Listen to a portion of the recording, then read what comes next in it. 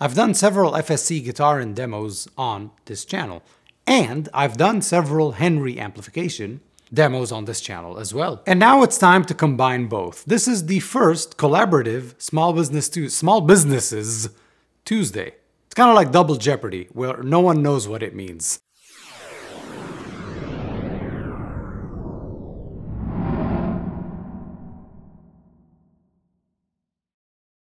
What is up YouTube? My name is Buddy Blues and it's Dual Small Business Tuesday. I don't know what to call it. FSC and Henry Amplifications have teamed up to bring you an incredible amp. The FSC 50 is a cross between Fender and Dumble, but not at the same time. Let me explain. The amp takes the best sounds and feel from a mid-60s black panel Fender amp and with the flip of a switch, you go into Dumble territory immediately. That's what he wanted to do with that switch, is to immediately go into that uh, preamp boost, PAB, you see it called PAB on the internet a lot, and it's preamp boost of a Dumble, where it like eliminates the tone stack type thing. It's, it's so good. The story on how this amp came about is kind of cool. FSC had a booth at NAMM, and they needed an amp for the show because they decided to go to the show without an amp to demo their guitars without an amp. Why? Anyway, FSC reached out to Henry Amplifications asking them to make a one-off amp that had more of a vintage Fender voicing and maybe like a switch or a boost on it to take it into the Dumble overdrive territory. And that was that. Uh, and the Henry Amplifications made the amp, sent it to FSC, and it was supposed to be a one of one. That's it. it this was never supposed to go into production. This is never supposed to be here. After a while, Farhad, who was the owner of FSC, the F in FSC, really fell in love with the amp. Reached out to Henry again and said, hey man, do you want to collaborate on this and make it into a thing that people can buy? And here it is. The amp has a channel volume, treble, middle, bass, reverb, a one knob reverb, which I really like, and as with most Henry amps, a master volume. The amplifier is 50 watts and that master volume saves you. Because you're able to crank the channel volume up and keep the master so low that you could be, you're not losing any tone, presence, or, or treble or anything, or bass even. And you're able to tame down that master so that you can play either driven or a broken up amp at bedroom levels. Or crank the master to half, which is what I will do, and go deaf. The amp takes a foot switch and has an effects loop. I have never in my life plugged anything into an effects loop, but if it's a deal breaker for you, it's there. And if you don't use the effects loop, it's also there, just don't use it. and again, like with all Henry amps, it is beautifully made, handmade, and the Tolex on it is just perfection. So as well as sounding beautiful, it looks beautiful too.